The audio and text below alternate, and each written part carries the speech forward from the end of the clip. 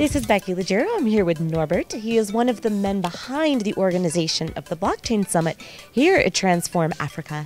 And uh, I wanted to know from you, first of all, what the main message is that you wanted to send from this summit today out to the rest of the world.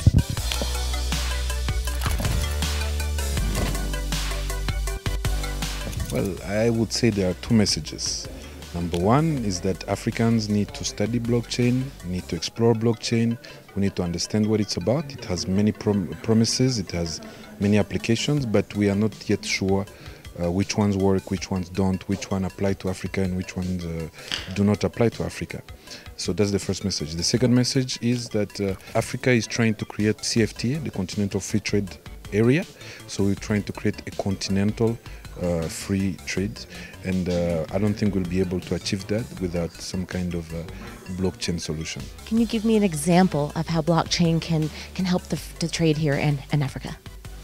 Well, there are many. Um, uh, for example, uh, we have 54 countries in Africa, each with their own system, some with their own currency. We also have some which have the same currency.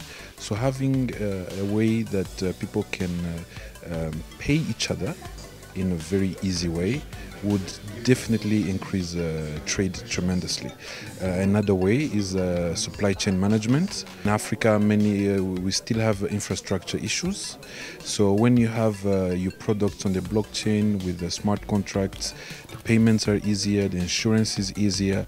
It just makes the whole process much more uh, easy to manage. Fantastic. Okay, and then when people leave here today after learning about blockchain all day, what what do you hope? What's the goal that you hope to accomplish? Well, we hope to ignite uh, some kind of a curiosity, uh, an interest. Uh, we hope uh, we have many students participating. We have many uh, programmers, young programmers.